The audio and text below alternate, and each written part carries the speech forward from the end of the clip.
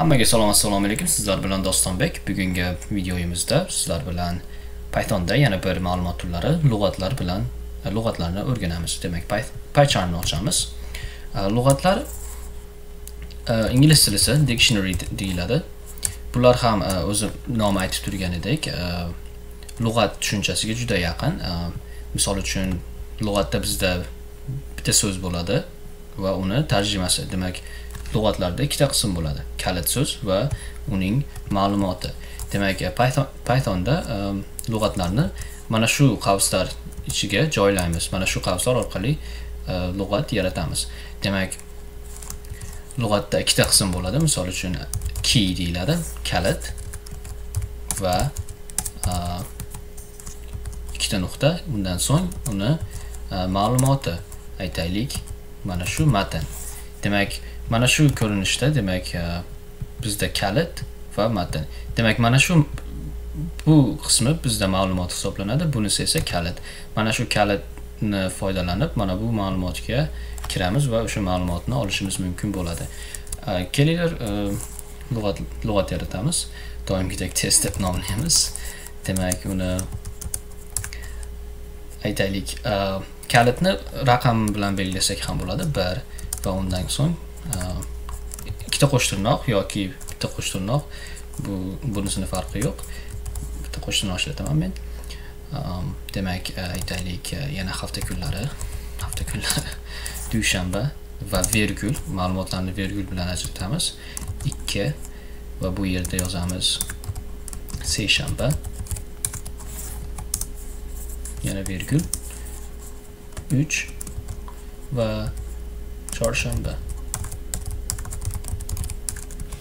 Demak e, mana shu lug'at hisoblanadi va aytganimdek buni ma'lumotlarni olish uchun aytaylik.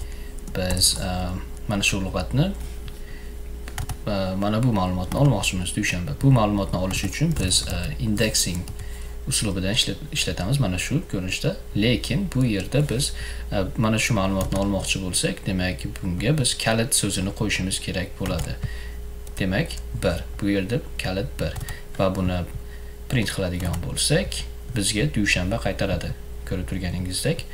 Lekin bu yerda aytaylik 3 beradigan bo'lsak bu yerda bizga chorshanba qaytaradi. Demak mana shu kalit bu esa ma'lumot.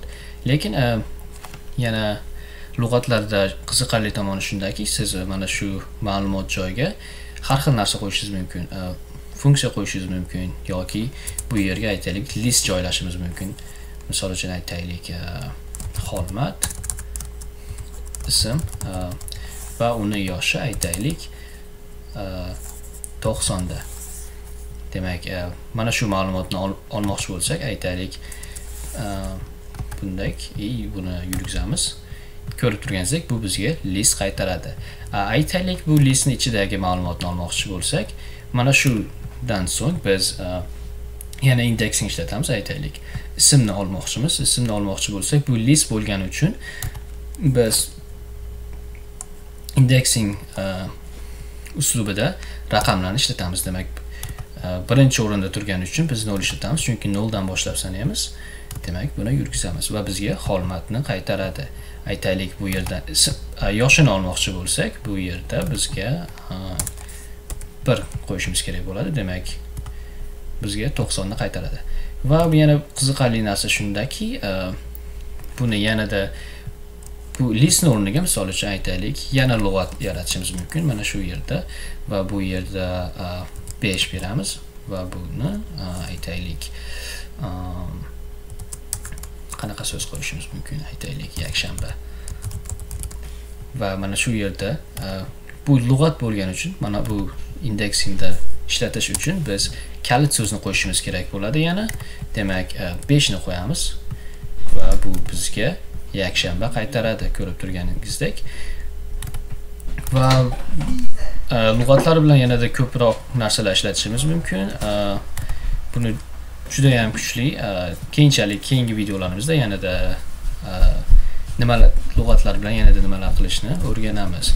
Hozircha e, asosiy tushuncha shu hisoblanadi demak e, shu bugungi videom shulardan iborat edi va albatta savollaringiz va izohlaringiz bo'lsa e, izohlar bo'limida qoldirishni unutmang. Kanalimizga a'zo bo'ling.